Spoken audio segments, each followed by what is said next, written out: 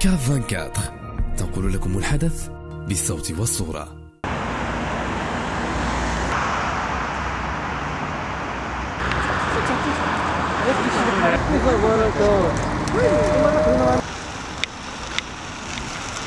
على الجنازة وهي جنازة رجل.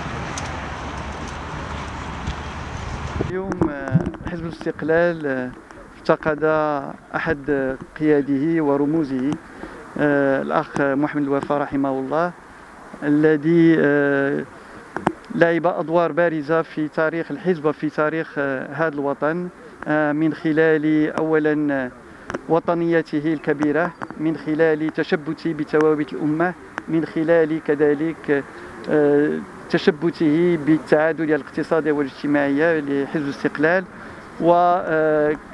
وأكد ذلك في عدة محطات في محطات ال- ال- العمل ال- الجماعي في كعمدة مدينة مراكش أو في محطات برلمانية كنائب برلماني الذي كان معروف بجرأته ودفاعه عن مصالح هذا الشعب.